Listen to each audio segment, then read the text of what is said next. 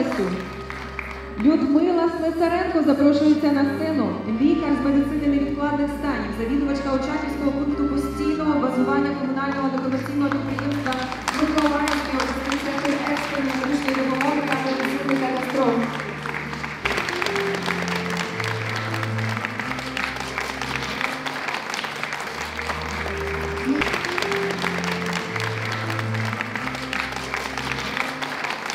Кожної області є претендент. Е, Серед військових медиків і серед цивільних.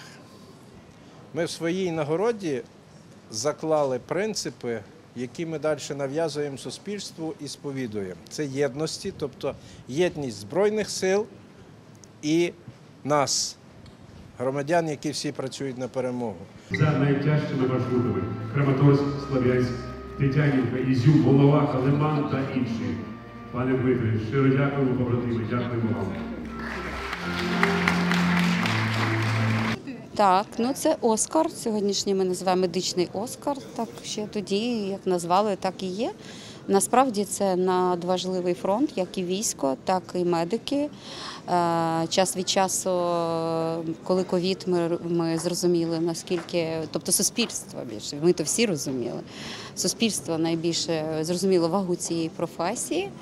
Е, Зараз військові е, і медики продовжують цю вагу, і це дуже добре. Я вважаю, що і освіта так само є пріоритетною в державі, тому що вони навчають і медиків, і е, військових, і взагалі.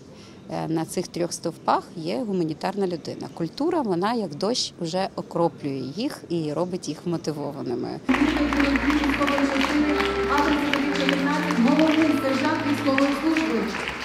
Курського напрямку. Дуже пишається своєю перемогою в армійському конкурсі для жінок медичної служби берегиня в погонах. Оце не змагання жіночої краси, а перше вміння надавати невідкладну допомогу надзвичайних умовах. Фізична витривалість і талант бойових медиків. Оця чарівна пані Світлана. Щиро дякуємо, Світланочко. Дякуємо вам. Дякуємо.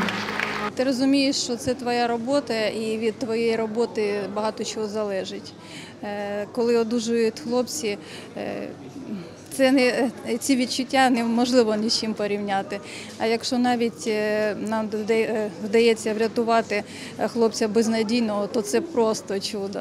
І, і ти навіть як я б сказала, що ти цією енергією, енергією напитуєшся.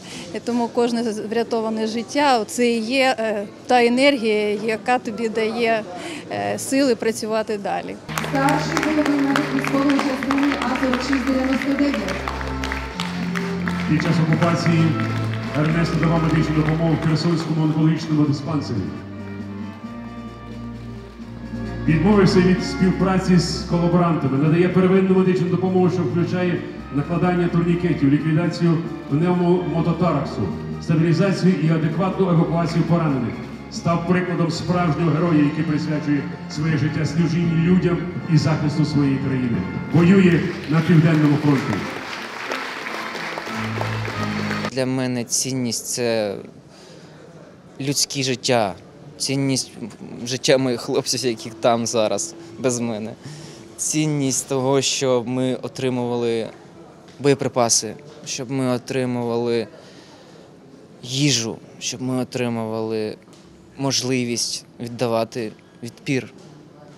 Тому що без допомоги людської ЗСУ зможе, але дуже буде тяжко.